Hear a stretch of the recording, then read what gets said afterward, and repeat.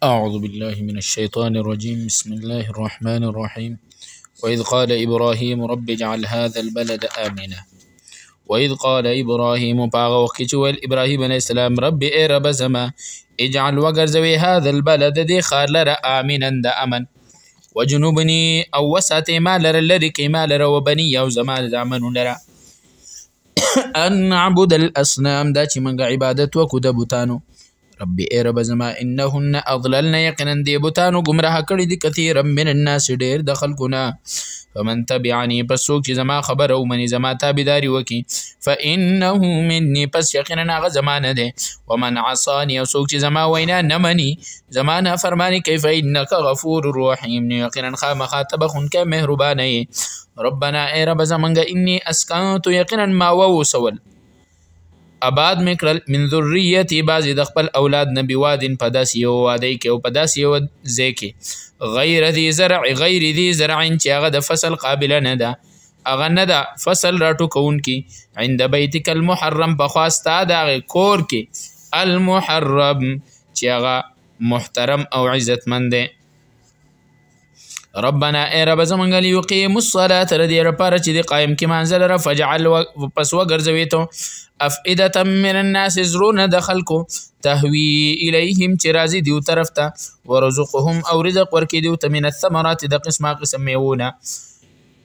لعلهم یشکرون د دې لپاره چې دوی شکر ادا کړي ربنا ای رب زمونږ انک تعلم یقینا خامخا ته پوهیږي ما په هغه څه باندې نخفي چې مونږ یې پټو وما نعلن او څه چې مونږ ښکاره کوو وما یخفا علی الله او پټ نه دي په الله باندې من شی ان هیڅ شی فی الارض په ځمکه کې ولا فی السما او نه په اسمانونو کې الحمد لله الذي ټول تعریفونه دي خاص هغه الله لره وهب لي چې رای کومه تعالی الکبر په بډاوالي کې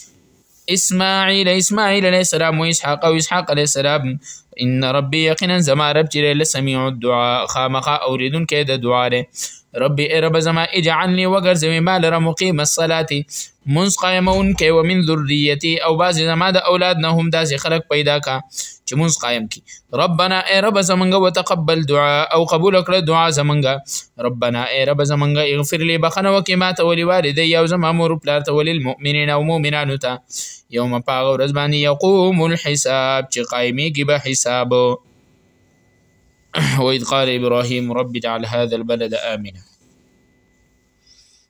مخکې آیتونو کې الله جل شانو د توحید باندې دلایل ذکر کړل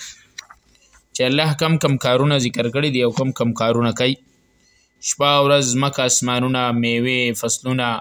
ونې بوټي او کشته او دریابونه سمندرونه نور او سپوږمۍ دا ټول الله جل شانو پیدا کړي بې شماره نعمتونه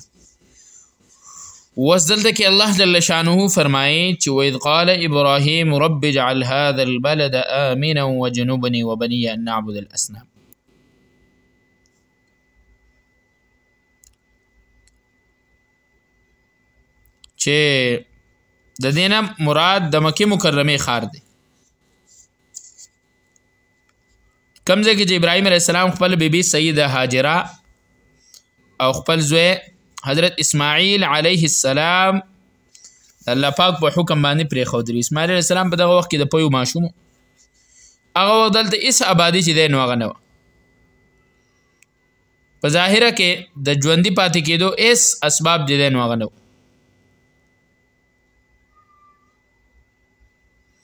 خو الله پاک دلته کې اول د زمزم کوی چې دی نو هغه جاری کو د اسماعیل علیه السلام په خپو کې چې نه جاری شول د اوبو جو بیا چې دغه اوبه ولیدل شوې او اوبه پیدا شوې دغه طرف به قافلې هم اکثر نه لیکن یو قافله چې دی نو هغه کله تلله هغه دغه ځای د زمزم دا چینه ولیده بنو جرهم قبیله جرهم یا بنو جرهم نو هغه د حضرت حاجره په اجازت باندې دغه ځای چې دی نو هغه آزاد شو آباد شو او بیا په مزه مزه په قلار قلار باندې چې دی نو هغه دغه ښار هغه آبادېدل شروع کړو د مکې مکرمې لوی ښار چې دی نو هغه ته جوړ شو د زمزم د دې اوبو د وجې نه ورنه مخکې چې دی نو هغه په دې کې څوک اوسېدو ته تیار نه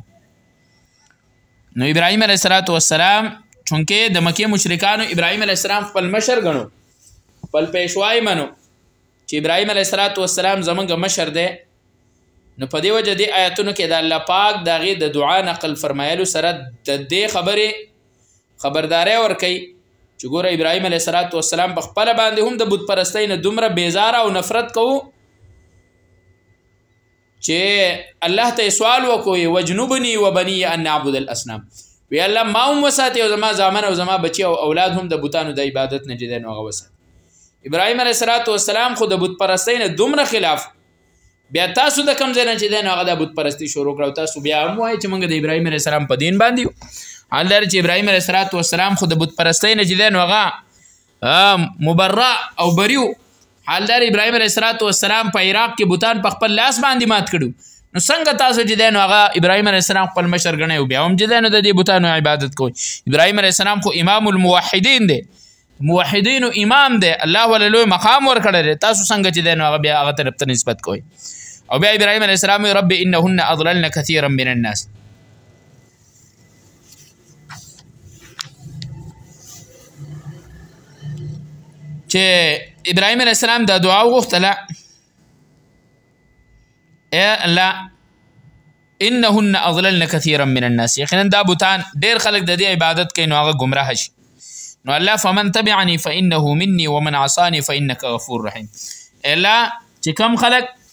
زما تابعداري کوي نو خو زمانه دی او څوک چې زما نافرماني کوي نو الله ته بخونکی مهربان یې زه خو د هغه لپاره بددعا نه شم کولی ته به خپل رحم وکړې او ته یې وبخې مطلب دا چې زه به خپل اولاد او نورو خلکو ته د بت پرستۍ نه د بچ کېدو تاکید کوم دا چې کم خلک زما په هدایت باندې عمل کوي زما تابعداري کوي هغوی زما سره د تعلق لرلو دعوه کولی شي څوک چې زما خبره نه مني د هغې دپاره زه به دعا نه کوم دا غوی معامله پتا باندې پریدم ته غفور الرحیم په دی وجہ دا غوی د بخنه دالار هم را استل شي چې تاغي ته هدایت وکې نو الله فإن رب زه هغه ته بدعا نشم کولای ف ومن عصاني فإنك غفور رحیم الله که څوک زما خبره نه مني نو ته بخون کې مهربانه ته بخنه او بیا ابراهيم عليه السلام وي ربنا اني اسكنت من ذريتي بواد غير ذي زرع عند بيتك المحرم الا ما چې دین هغه ووسول او آباد مې کړو د خپل اولاد نه بازې په داسې یو واده او میدان کې چې هغه د کر کروندې قابل نه ده هغه د فصل قابل نه ده ستا د هغې کور په خوا کې چې هغه محترم او عزتمن کور دی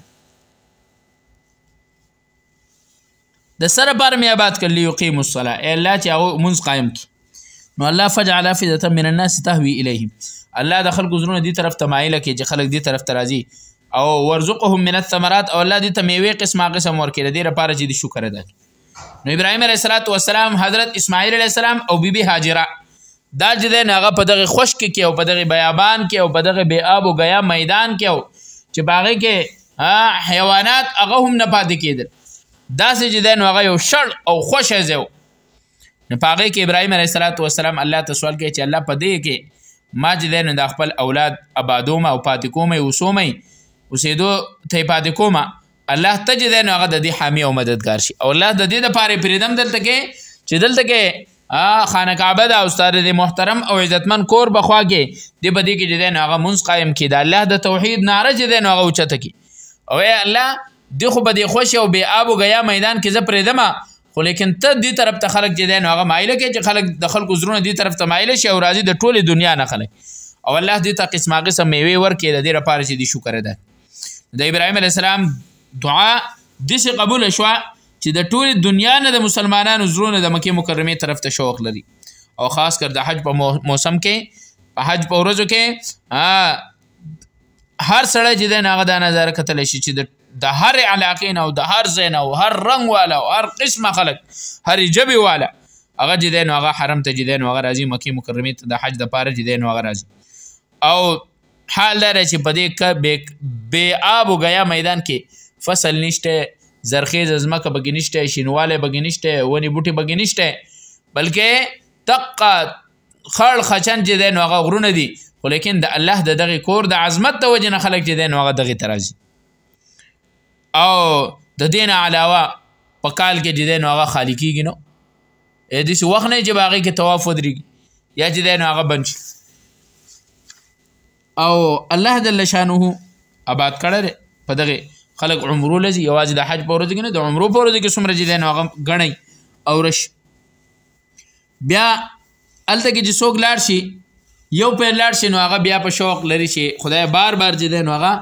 ما ته د دغې حاضرېدو توفیق میلاو شوی او زه بار بار چې دی نو دغه عزتمن او محترم ځای ته چې دی نو هغه لاړی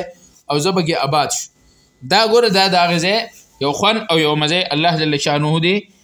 موږ ټولو ته څومره خلک چې اوري دا سبق الله دې په موږ ټولو باندې رحم وکړي او الله دې موږ بار بار چې دی نو هغه دغه حرمینو ته هغه په بار بار باندې بوځي او بیا ګوره د هغې کې هېڅ بوټي به کې نشته خو لیکن د قسمه قسم میوې بې موسمه میوې هلته کې به تا ته چې دی نو هغه میلوي او اعلی قسم ډېر بهترین قسم چې دی نو هغه هغه به تا ته چې دی نو هلته کې میلاوي دا د ابراهیم علیه السلام هغه دعا ده چې الله قسمه قسم میوې هلته کې چې دی نو هغه د دنیا د هر ګوټ مختلفه میوه بهترین شي چې دی نو هغه به حرمینو ته ځي او بیا الله جل شانو فرمای ربنا ابراهيم عليه السلام اے رب زمونږه انك تعلم ما نخفي وما نعلن اے الله ته زمون پټ او ښکاره هر څه باندې پوه هي وما يخفى على الله من شيء في الارض ولا في السماء او پټ نه دی په الله باندې د سشینه پزمکه کې نه پاسمان کې الله ستانه هیڅ شی دی نه هغه پټ نه دی بیا وی الحمدلله الذي د الله شکر بیانې د الله تعریف کوي د الله حمد بیانې الله ټول تعریفونه دي خاص هغه الله لره وهب لي على الكبر اسماعيل واسحاق چې هغه ماته په بډاوالي کې راکړه د دوه ځامن ابراهيم عليه السلام او اسماعيل عليه السلام اسحاق عليه السلام او اسماعيل عليه السلام ګور دا دوه الله پاک ابراهيم عليه السلام ته په بډاوالي کې ورکړو پس بنا ګره باندې د ابراهيم عليه السلام د دوه بچي شو او دا الله جل شانو په امتحان کو اسماعیل علیه السلام وشو بیا د اسماعیل علیه السلام د قربانۍ هغه نتیجې نه پس بیا اسحاق علیه السلام پیدا شو بیا اسحاق علیه السلام اولاد کې جدي نو هغه یعقوب علیه السلام پیدا شو چې هغه هم نبی و د یعقوب علیه السلام په اولاد کې بیا ګوره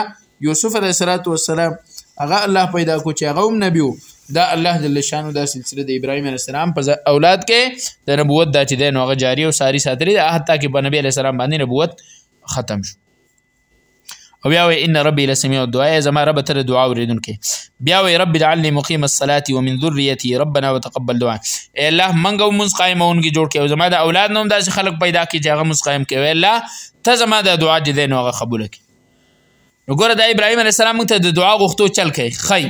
چې په دې طریقه دعا غواړي نو ګوره دا دعاګان یادول پکار دي سړی بیا الله ته سوال کوي بدی دعاګانو دی غواړي نو په سم کومه دعا چې په عربی کې وغوښتل شي دا قبولیت ته ډیره نږدې بیا وایي ربنا اغفر لي ولوالدي وللمؤمنین یوم یقوم الحساب ای الله ته چې دی نو هغه وبخې ما لره او زما اولاد لره او مؤمنانو لره د هغه ورځې کوم ورځ باندې چې حساب قایمیږي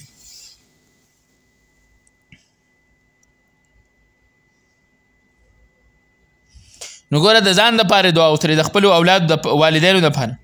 ولدل اوس دا اعتراض کېده چې ابراهيم عليه السلام پلار ازر خو کافر نو د کافر د پاره څنګه بخنه غوښتله هغه جواب دار چې کم وخت ابراهيم عليه السلام دا دعا فرمایلی و کې د شاغه وخت د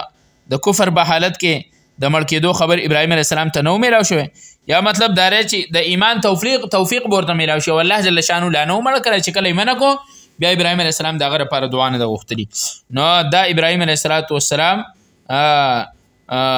د ابراهیم علیه السلام یا د دې والدینو نه مراد چې دی نو هغه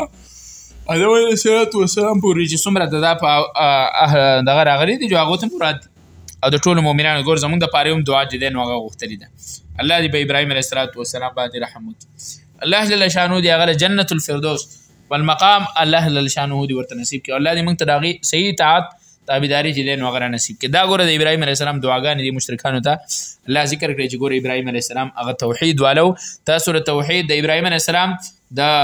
د مشرۍ دعوه کوي ابراهیم علیه السلام خپل مشر غنی خو لیکن دا غي اتباع نه کوي وإذ قال ابراهيم فاوكي جوال ابراهيم عليه السلام ربي رب زما اجعل هذا البلد وغرزوي دي خار لرا آمنا دا امن وګوره دا امن خار دی وجنوبني او وسط ما لر لري کې ما لر او بني او زما زامن لر ان نعبد الاصنام دا چې موږ عبادت وکړو د بوتانو رب رب زما انهن یقینا دا بوتان چې یظللنا گمراه کړي دي کثیر من الناس ډیر د انسانانو نه نو فمن تبعنی فسوک چې زما خبر زما په لار باندې روان شي زما تابعداري وکړي فانه مني پس یقینا هغه زمانه ده و من عصانی او څوک چې زما خبره نه مني نو فانک غفور رحیم پس یقینا ته بخون کې مهربان دی نو الله ته خپل رحم وکړي ستا معامله ده سره ربنا ای رب زمونږ انی اسکنت یقینا ما آباد کړل آباد میکړل من ذریتی بعض د خپل اولاد نبی وادن پداس یو واده او میدان کې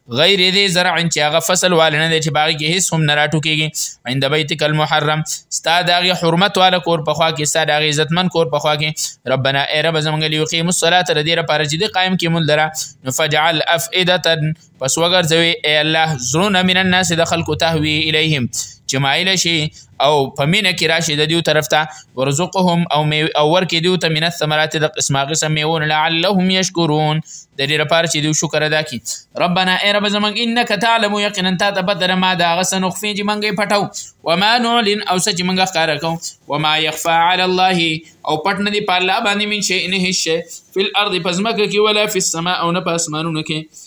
الحمد الحمد لله الذي ټول تعریفونه دي خاص هغه الله لرا وهب لي چې راي کومه تعالی الكبر په بډاوالي کې اسماعیل اسماعیل علیه السلام و اسحاق او اسحاق علیه السلام ان ربي یقینا زما رب چې له سميع الدعاء خامخا اوریدون کې له دعا له ربي رب زما اجعلني وګرځوي مال را مقيم الصلاه قائمون کې د مانځه ومن ذريتي او زما د بعضي اولاد نه هم ربنا اي رب زمنګ وتقبل دعاء او قبول کړي